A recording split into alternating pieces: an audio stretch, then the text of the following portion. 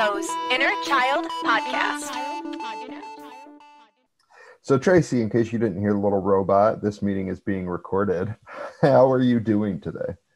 Doing great. Thanks. How are you? I'm doing fantastic. Uh, my name is Joe. It's wonderful to meet you. I, before I ask you questions, I love how much purple is behind you because it's my favorite color. I love your keyboard. Look at like my ring that my fiance got me is purple. Like, it is. So I, I my whole office is purple. Like everything is like my I love everything. I I love love the color. Well, Yeah. let's let's talk about you and not just uh, what I want to talk about. So I I know that you're promoting. I think you should leave, um, and you're in episode five. Um, Mm-hmm. I I can't remember if it's called. I thought there were five people at this table or something like that. But I Yes. watched it and Uh-huh. and and I had seen your scene, and I was wondering if you were if you had uh, tried out or like if you had auditioned for a skit or if they approached you specifically for this specific sketch. This one was old school. Um, this one, and, it, and it's kind of a funny story because we get these auditions in all the time, especially during the pandemic. And this was right before the pandemic got bad. And I got an audition in, and, and I just kind of crank them out. I have my taping set up down the hallway, and you know, and um, a year goes by. And you never think about them again. Like i don't know when i started out years and years ago it's like i'd always be oh i didn't hear from that person. But literally never thought about it again except for that the material was so funny that i did recognize it. And they're like yeah are you available? And then the casting director said to my manager she said well does she still look good? So my my manager like sent another audition in just so she'd know that i didn't gain the you know the pandemic 50 you know? That you still got that smile and that hair. They're like, oh, she makes the cut. okay. Yeah, so it was kind of fun. It's, for me, I mean, you love it when you get in a, an audition like that with with people who work in a genre that isn't your most well-known genre. And I love comedy. I did comedy growing up. I trained at Groundlings. I did all that stuff. And here's these guys doing this Saturday Night Live sketch show. You know, like, I'm so down.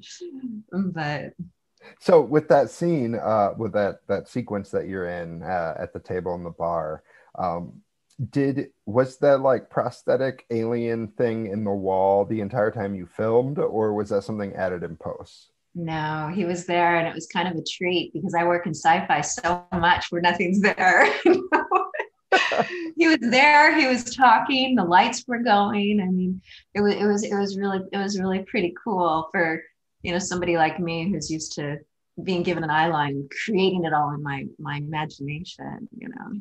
And- How how do you manage to keep your, for uh, better uh, lack of a better term, keep your shit together when uh, Tim Robinson or um, when the was it Tim Heidecker? I'm trying to remember who you were. Heidecker, yeah. That's what I thought. Okay, yeah. So when you were with Tim Heidecker at the table, um, and he was just, you know, saying these ridiculous things, how did you keep your your shit together? Because together, I, I could see that. Obviously, you're smiling in in the scene, but you managed not to lose it. At, at least what's on camera, you managed not to, you know, start laughing. Did it take multiple takes, or were you able to just hold yourself together the entire? I held it together every time. And it wasn't that I didn't think he was funny. It's just that I come from a training background where you actually believe everything that you're doing and that you're living. So for me, it was real. You know, I was being that character and I was going through that experience, which in her situation wouldn't be funny. You know, it's like, and so I, I kind of took it at face value because I think that's, you know, that's the best thing to do with comedy. You have to have the straight guy. You got to have the person that takes it in. No, I never lost it. Yeah. So So I want to switch gears and talk about. Is it called the Time Wars? Uh, it it's- is. So your uh, lead role in that, and from what I understand, it's a series, but it's it, is it eight hours long? It is. Can you tell me a little bit about what that project is? Sure. It's a, it's a time travel um, series. And it's basically Adolf Hitler traveling through time, rewriting history because he has a messiah complex. So he's rewriting his genetic code. And I play not just his daughter, but also his nemesis. So it's um, it's the darkest thing I've ever done. and um, a lot of different time periods and a lot of different um, versions of my characters. So it's definitely the most complicated thing I've ever done because different versions get plucked through time. Um, and of course, they have different experiences and different outlooks and different appearances and different, you know, everything really. So um, that is that is a, a deep, dark, twisted series that started out as a, as a movie and then it just kept growing and growing and next thing we know we're going to another few countries to film and next thing you know and it's like you just keep getting these phone calls that it's getting bigger and bigger and bigger. So it's super exciting to see it come to fruition because we actually started on this started filming about five years ago but the original script is about 15 years old so it's the pet project of the of the director and it has just grown massively. Yeah when is that um, is it something that's already started airing or is that something that is coming out in the future? It's coming out in the very near future. Okay that's final stages of post and um, me and the other cast members are kind of like just pinching ourselves that, it, that it's actually coming to fruition. you know? Because we went through so much for it that it's just very exciting when a big big long-term project is nearing its end yeah did you do any sci-fi like time travel stuff uh, before you worked on this project, or is that something you had to do some research into to kind of understand how all the the laws of time travel work? I'm kind of a sci-fi junkie. Like since I was a little kid, so I've watched a million things with with time travel. You know, of course, I've done films before that were sci-fi, but this is the first time that I have the experience of the time travel and it's really funny how you do it for so long and you do so many different scenes and so many different places and you start to kind of buy it yourself you know?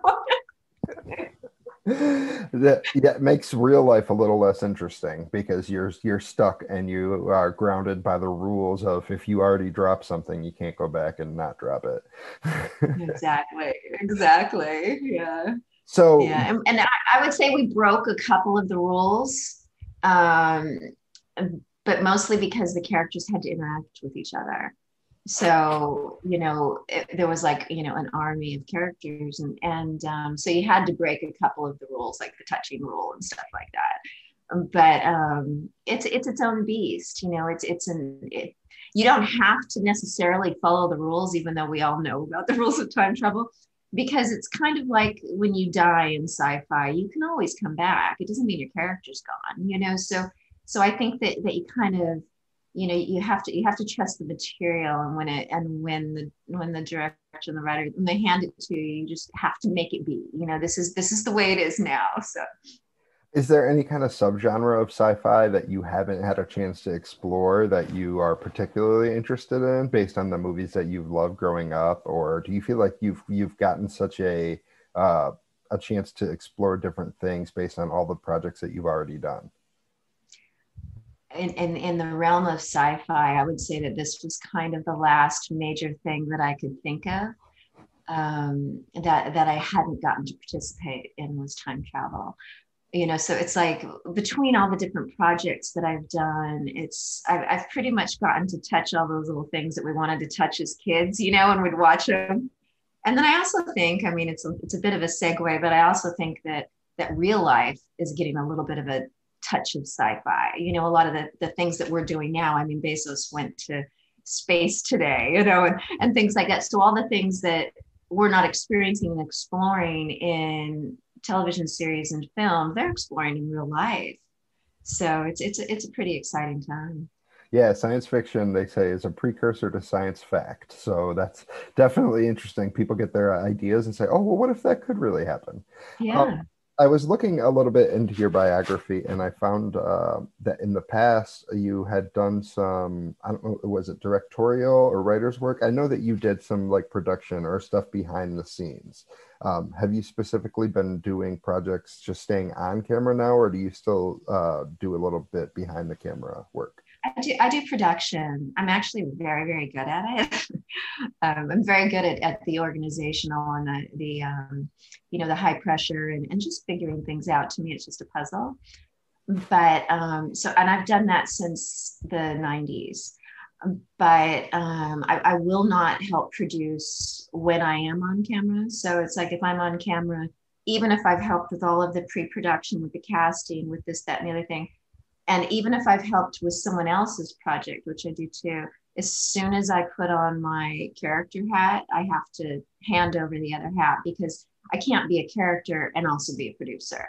So it's it's it's just kind of my little trick that works for me is you have to work with people that you trust so much that you can defer to them when it comes time you're shooting. So I absolutely loved the biz, love the business end of it and stuff like that, but I do have to be able to put it down. I found that Tracey can be a producer, but all the various characters can't. Yeah. Which would you prefer to explore more going forward? Well, I absolutely love performing. There is nothing that gets my socks off better than performing. It's um, I love taking on other people. Like ever since I was a little kid, I love watching people and studying them and thinking about what they do. To me, there are no, although there's bad people, there's criminals and stuff like that. There are no bad people. Like everybody's fascinating to me.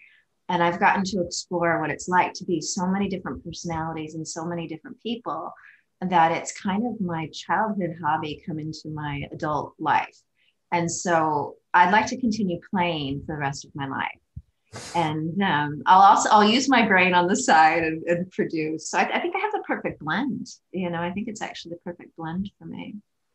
Do you feel like there's a specific project that you've done um, that your younger self would like their mind would be blown by? Like if there's one specifically that you kind of squealed about when you were doing it, or is that something that you kind of feel like every time you're on screen that you're fulfilling that like inner child of yourself?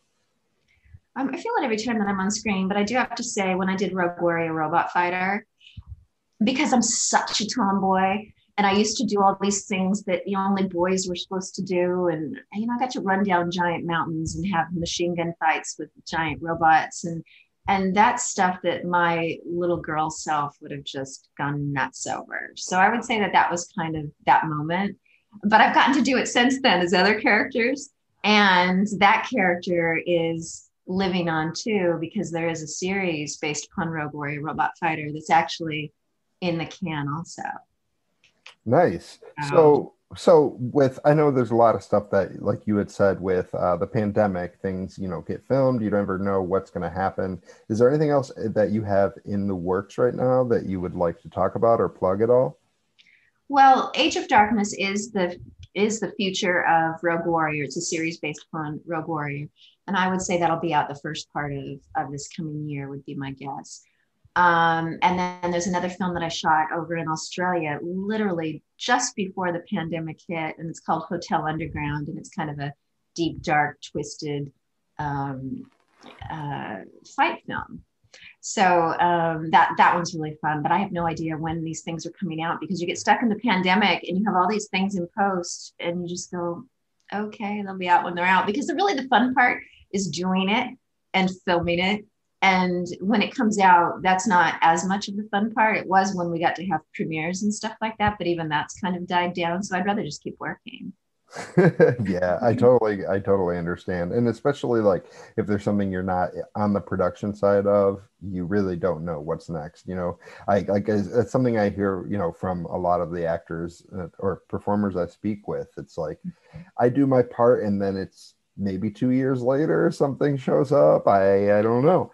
Um, so that's it seems to like pretty much line up with what I've heard from everybody else do you have um, before i wrap is there anything that you would like like website wise or social media wise to direct uh, listeners and your fans to sure um, I, I still have an old fashioned website. so it's www.traceybirdsall.com. And it also works as a hub. So it has links to my IMDb, my Twitter, which is Tracey Birdsall1, my Instagram, which is Tracey Birdsall1, and my Facebook, which is Tracey Birdsall Official.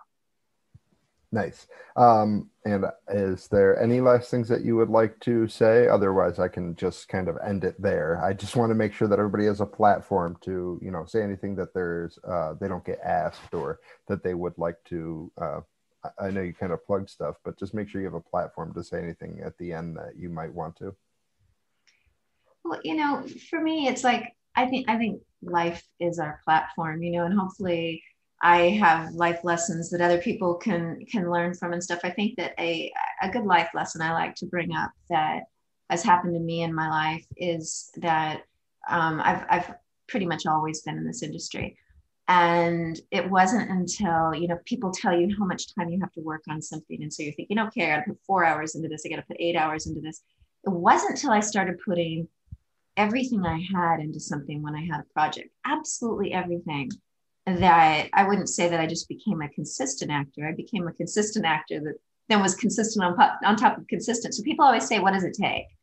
Um, it takes everything. You know, it takes everything that you have. And when you get a project, you put everything else aside and you just focus on that, whether it's an audition, whether it's a film, whether it's, you know, a series, whatever it is. And um, I think that I think that was a really a tough lesson for me to learn in life. So I think that it's a good lesson for everybody else. Nothing's enough. Literary Joe's Inner Child Podcast.